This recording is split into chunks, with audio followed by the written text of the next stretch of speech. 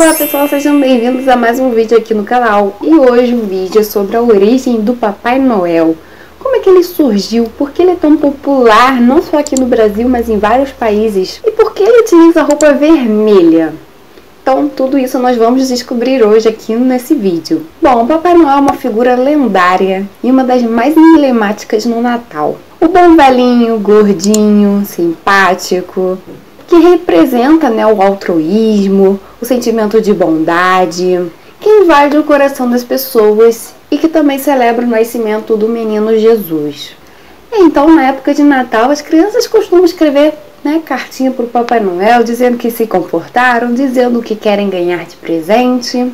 E segundo a lenda, nas noites de véspera de Natal, o Papai Noel pega o seu trenó e percorre o mundo inteiro, com suas renas levando presente para todas as crianças. E crianças que se comportaram bem. Então eles vão, entram pelas casas que tem chaminé, descem a chaminé e colocam o presente embaixo da árvore. Mas a origem do Papai Noel vem da figura de São Nicolau, que foi um bispo que nasceu na Turquia, que ajudava pessoas carentes. E o São Nicolau, ele costumava deixar moedas para pessoas menos favorecidas durante a noite. Mas antes do São Nicolau, já existia uma lenda do Velho Inverno, que era um senhor que passava na casa das pessoas, né, pedindo dinheiro, pedindo ajuda, e quem ajudasse teria um inverno agradável, né, para toda a sua família.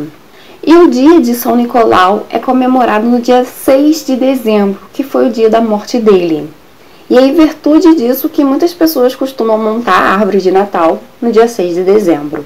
O São Nicolau é padroeiro na Rússia, na Grécia e na Noruega. Ele também é considerado o padroeiro dos estudantes. Hoje o Papai Noel né, já tem outra imagem, que é uma imagem de um velhinho, gordinho, de barba comprida e branca, chapéuzinhos, aquele cinto dele, a bota preta. E além de carregar aquele grande saco de presentes nas costas. Mas eu sabia que a aparição do Papai Noel nem sempre foi assim. Primeiro ele tinha uma imagem né, de um homem bem magrinho, com a aparência de um duende.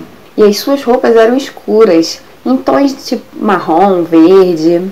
E foi somente em 1931, através de uma campanha da Coca-Cola, foi que o Papai Noel ganhou essa imagem que mais se aproxima do que a gente conhece hoje. Então a Coca-Cola que trouxe essa roupa vermelha para que ficou, né, pegou Agora a gente só vê o Papai Noel com roupa vermelha. E outra curiosidade é que na cultura americana ele vive no Polo Norte. E na cultura europeia ele vive na Finlândia. Bom pessoal, essas foram algumas curiosidades sobre a origem do Papai Noel. Você já conhecia? Queria ver outras histórias aqui no canal? Deixa aqui nos comentários. Se você é novo aqui, não esqueça de se inscrever no canal, deixar seu like, um beijo e tchau, tchau.